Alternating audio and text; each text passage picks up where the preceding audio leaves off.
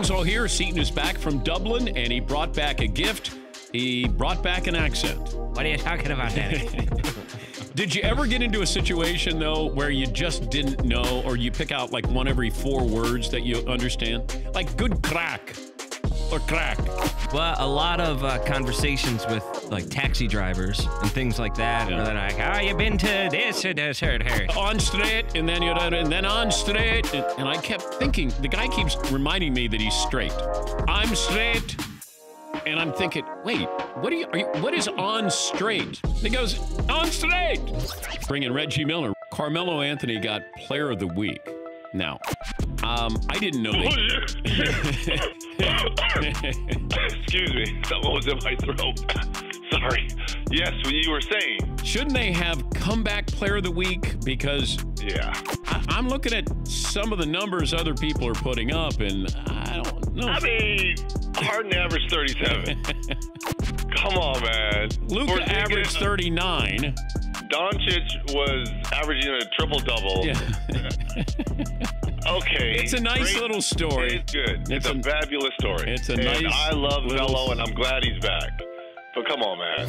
Probably not fair, but we do judge quarterbacks more than any other position. And the bottom line is wins and losses, how you did in the playoffs, how many Super Bowl wins.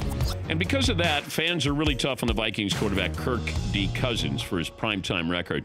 He fell to 0 8 in Monday night games after the Seahawks beat Minnesota last night.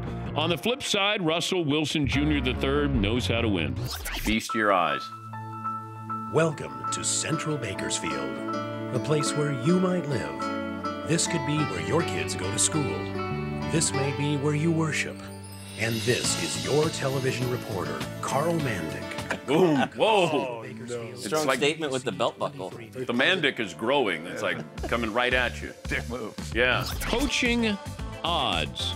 Cowboys coaching odds according to Las Vegas. Urban Meyer is your favorite to be the next head coach of the Dallas Cowboys. Followed by Josh McDaniels, Lincoln Riley, There are some miracle odds. 10,001, Tony Romo, Jerry Jones himself, Jimmy Johnson, and Barry Switzer at 50,001. Oh my God. Jimmy Johnson, that's a good one. That ain't happening. That ain't happening for a variety of reasons. How about Jerry Jones himself? I, well, it basically that's what it is.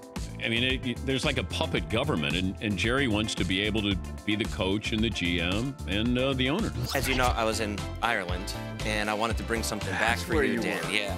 And I did a tour of the Jameson factory. What do you got for me? I was a few drinks in when I got you this very special bottle customized. And Fuego. Oh, it's ooh, ooh. Unfortunately, it's Ooh Fuego. That looks like it's Gaelic for Enfuego. Right. right. Yeah, that's what it is. Yeah. Fuego.